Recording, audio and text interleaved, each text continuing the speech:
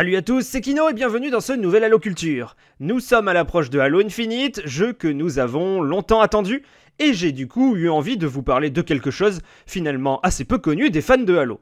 Cortana a pris encore plus d'importance depuis le jeu Halo 5. Alors qu'on la pensait perdue, elle se retrouve être le plus grand ennemi que l'on ait à affronter.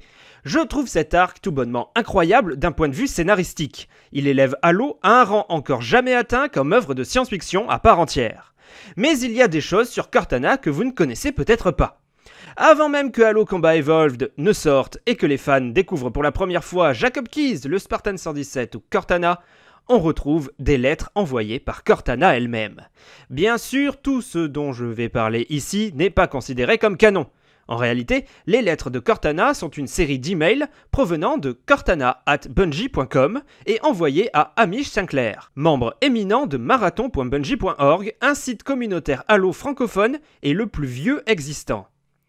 Plus d'un an avant la sortie de Halo Combat Evolved, ces mails présentaient brièvement, et pour la première fois, l'univers de Halo dans une version non finalisée, à travers des textes rédigés par Cortana, alors encore inconnu du public. Ces mails donnaient par exemple J'ai marché au bord de l'abysse, j'ai gouverné les insoumis, j'ai vu nombre d'empires s'effondrer devant moi, j'ai vu les plus courageux soldats s'enfuir en hurlant, j'étais avec l'ange lorsqu'il est venu sur la tombe, j'ai vu votre futur, et j'ai appris. Il n'y aura plus de tristesse, plus de colère, plus de jalousie, j'ai gagné. Oh, et votre poète Eliot avait tout faux.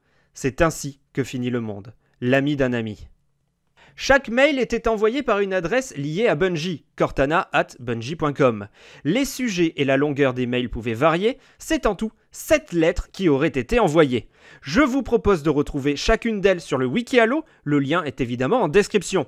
En attendant, nous pouvons conclure sur l'ensemble de ces prises de parole que ces mails ont bel et bien été envoyés par une IA, fière et imbue d'elle-même, se montrant sadique avec une entité a priori semblable à elle et ayant du mal à comprendre les êtres différents, identifiables aux humains.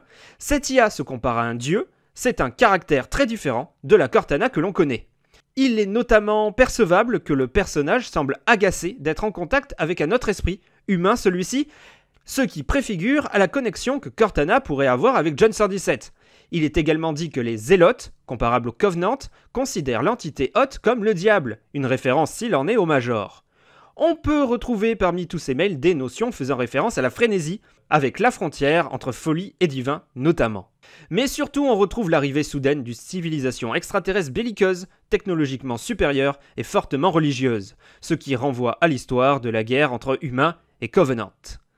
Il existe une huitième lettre, dite cachée. Celle-ci présente un contexte où l'humanité aurait conquis son système, puis serait retombée dans un âge primitif avant de renaître. Beaucoup de notions très intéressantes pour un univers qui ne serait qu'à ses balbutiements à ce moment-là, et qui ont peut-être d'une façon ou d'une autre influencé le travail de 343 Industries sur le personnage de Cortana. Ces mails ont probablement été rédigés par Nathan Bittner, étant donné que la troisième lettre a été envoyée, peut-être par erreur, par l'adresse personnelle de cet employé de Bungie. Selon Joseph Staten, qui a notamment travaillé sur les cinématiques sous l'ère de Bungie, la diffusion des lettres ne constituait pas un effort marketing. Il s'agissait seulement d'un moyen de présenter des concepts en développement à la communauté. Joseph Staten a déclaré en 2006 que les lettres existaient hors canon. Et en 2010, Staten a déclaré que les lettres ont été utilisées dans une certaine mesure dans la conception de l'histoire de Halo 3. On y retrouve, il est vrai, peut-être une même forme de construction entre ces mails et les prises de parole de Cortana envers Chief au début de la campagne de Halo 3. Je vous laisse retrouver l'ensemble des lettres de Cortana, de quoi nous occuper un petit peu avant l'arrivée de Halo Infinite. Je vous fais des bisous et je vous dis vive Halo